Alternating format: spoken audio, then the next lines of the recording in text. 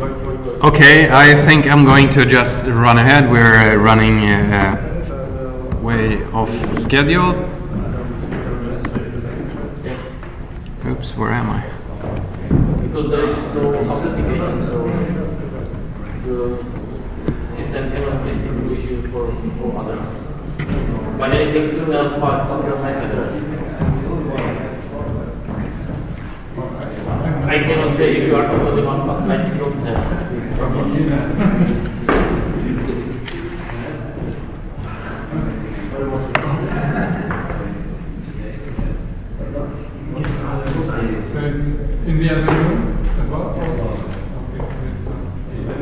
There's a subject for you, Steve. Deprecating legacy crap.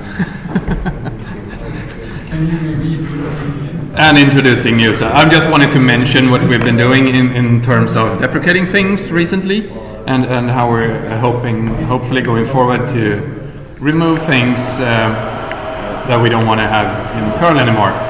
So of course, why we need to remove things. We have a lot of old and bad things that we possibly don't want to keep in the code base anymore. Some of it is unused, some of it is basically untested and uh, uh, basically not in line with current thinking. Like we've uh, we remove features that really aren't working really well and isn't used much, and uh, and also we don't we want to stop encourage people to use third-party libraries that we don't feel are uh, up to the task really to, to help users. And of course, we keep the complexity down. We add code all the time. Uh, we better remove some code at times as well. Uh, yeah, it makes the code smaller in the end too. So how do we do how do we remove things then to main, we need to maintain things right the api and ABI so we uh, we discussed this on the mailing list so the rules are in in basically in this file or this is in this file we document what we are deprecating. So we are basically removing things that we can remove without destroying the api or the ABI uh, which of course is a challenge um, since then we cannot we can't remove options. We can just make them not work anymore and we can't remove functions since it will destroy the, ABI so we start out by disabling things by default without any warning and we document it and we tell everyone in the changelog that we're removing things. It doesn't work anymore but we don't actually remove the code. Like we have disabled pipelining we have disabled the global DNS cache uh, since a while back. It's disabled, you can't use it. You can ask for it, but nothing will happen. The code is still there. And then after, um, right, actually, right, we disable by default, and then, then um, after a while, then we disable it. Uh, we can do it first, just switch the default value to off, and then we disable it in the code. Just disable, you can't even enable it, even if you do it by force. And then roughly six months or later after that we remove the code completely like we are about to remove pipelining. Uh, i have the merge uh, very close to actually be well i had the pr ready. The merge will happen soon. Removing pipelining will happen. We will remove the dns uh, global cache similarly. And it's easy for, because both of them are basically options that we users can enable and ask for it but it doesn't really matter to them if we don't I mean, do the right thing. They only ask for it. It's easy to just not do it. And we, of course, already removed all support for the AXTLS uh, TLS back end uh, a while ago because it's just not uh, good enough. Basically, a abandoned project. It doesn't support modern stuff. It doesn't even support SNI in TLS, and it uh, has a it's way behind on other TLS things. So, uh, not a good project that I think we shouldn't push users into AXTLS. There are lots of other TLS uh, alternatives to use that are much better. So we ripped it out. And we are going to remove them HTTP pipelining, which when I ask users in this uh, user survey every year, I ask users, do you use HTTP pipelining? And a lot of users say, yes, we use pipelining. And I always question that because I don't think it's true. I think everyone is uh, conflating pipelining with persistent connections, and that's not the same thing. Um, you know, pipelining is uh, you have to explicitly uh, enable it in libcurl, and you have to uh, send more outgoing requests before the response has come back for, for the previous request. So yes, I will merge up here soon and we will remove it because it's really rarely used. It's very buggy. I, we, I'm sure, I mean, I've had this debate a few times with a few users who say that are, they're using it, they're happy, and they're not happy with me saying that they need to use HTTP2 instead to make this happen. But I still think this is the right way to do it. Um, we don't really test this very good. Uh, back to Dan's point, this is a really not a good covered area. And it's really complicated to write tests. It's very timing sensitive and it's really hard to debug because of this timing sensitivity. And the browsers, of course, already dropped pipelining a while ago. Uh, those who supported it. I know that both Chrome and Firefox have dropped it completely. None of them had it enabled by default anyway. So I think it's uh, it's time to do it, and it's the proper pipelining saturating your connection, outgoing and um, incoming over a TCP connection, is much better done with HTTP2, and that's what we should encourage users to use. So we removed the global DNS cache also because global DNS cache was never a good idea, and we've um, I. I've tried to Google for it, and I haven't found many users of it. It was added for PHP users back in 2002, I believe, we added a little note in the docs already 2004 that said, don't use this, we will remove it at some point in time. And I think 15 years later, and uh, yeah, now is the point in time when it's time to actually remove it.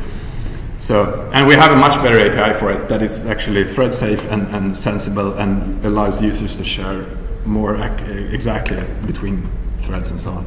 And uh, right, we also made HTTP 0.9 support opt-in which isn't really opt-in yet. It's still an opt-out, but because it's uh, um, it's still um, it will get disabled by default in September then. So in, by the September we will uh, flip the default and make it disabled by default. So HTTP 0.9 uh, HTTP 0.9 response is a, a HTTP response without headers basically, a binary or whatever body immediately which unfortunately makes it that you can pretty much redirect.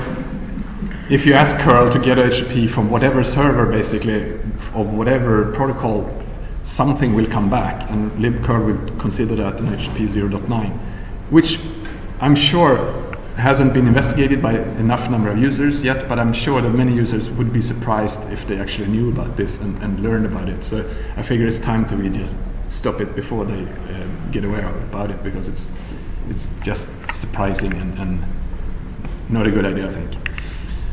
Possibly a security risk. Sorry? Yes, it. uh, I'll talk about that tomorrow. Yeah, so our first QUIC command line actually uses 0.9, so yes.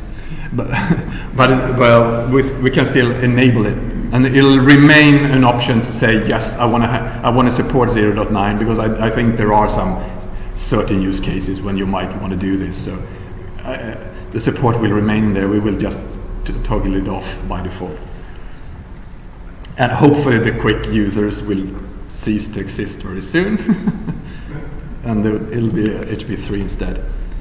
Um, right, it's possibly an ABI breakage. It's, it's a matter of definition. But I don't think there are many actual users of this out in the wild that, that can't handle that. They have to uh, set an option. And of course, I'm, I'm, I'm, very open for more suggestions on what we can do to trim out things that we don't use. And um, I will try to come up with questions to users from the, for the survey and see if we can figure out other areas that are a bit unused and dusty that we should clean out. And the same, in the same uh, spirit, and that we're removing deprecated stuff uh, and legacy crap. Uh, we should uh, we introduce this way of introducing introduce this way of introducing experimental code. So now we introduce features with a clear experimental tag, like this new alt-svc headers it is documented as experimental in the documentation. It is disabled by default. You have to enable it by, with configure. And if you do, it warns you, says that this code is experimental. Don't ship it in production. I'm sure that won't uh, actually stop anyone from doing it. But ho hopefully at least we can just tell them that we told them. Um, the idea being that we can ship code a little bit earlier before we're perfectly sure about how, how it should work. Like in, in this case with uh, alt-svc, I'm not exactly sure what kind of API or ABI uh, we want here. What, what the user really want to do. How do they want to use this feature? So I figured it was would be cool to get it out so people can start trying it out and we can possibly change how it works when, when we learn how pe- people want to use it.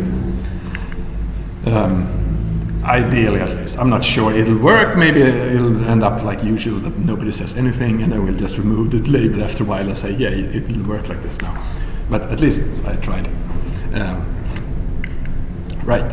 Uh, so that's the alt-svc header. It's the same. It's basically saying this site also runs over here on another host name, another port, another protocol potentially. Go there instead of here. Um, it's actually an old header introduced three years ago for HTTP2 to allow clients not get stuck in a single server, but move them over to another server that happens to be the same one. Basically, in a load balancer case, when you have a lot of load balancers, you don't want all connections to get stuck on one of them, because in, in the HTTP2 world, we have more persistent, long-going connections. And that is, this is the documented way to use HTTP3. So that's how you bootstrap to HTTP3. So we better get this done so that we can actually go HTTP3 the documented way uh, in the future. It's not used a lot. Apart from HTTP3 and, and the QUIC experiments by Google, it's not used a lot. so, might be some other interesting things with the experimental code to do in the future. I'm sure that some of the other things that I mm, mentioned yes, uh, not yesterday, but earlier, um, what, what we can do in the future, we can add as experimental, just to get the code out to allow everyone to get a feel for it before we actually rubber stamp the exact behavior and decide that this is the way to do forever and ever. Um, I think in some some areas in the past we've done some stupid mistakes in the APIs and ABIs and everything, so that we have to live with forever after that. It could have been better to just try it out first, and hopefully we can do it in this manner going forward. That's it.